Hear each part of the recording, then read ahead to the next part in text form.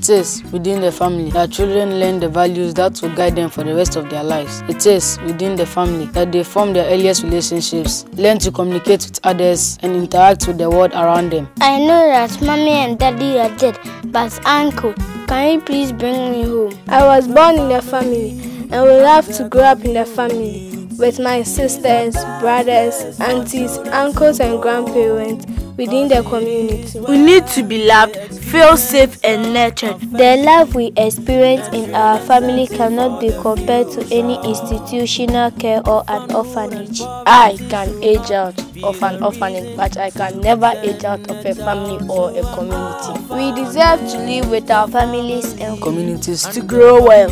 Let's all support the reintegration of children in orphanages back into the family and communities and help poor families to take care of their children. This advert is brought to you by the Department of Social Welfare through the Ministry of Gender, Children and Social Protection with support from UNICEF and USAID. Contact the Care Reform Initiative of the Department of Social Welfare on 0501 634 440 or email us at cri4dsw at gmail.com.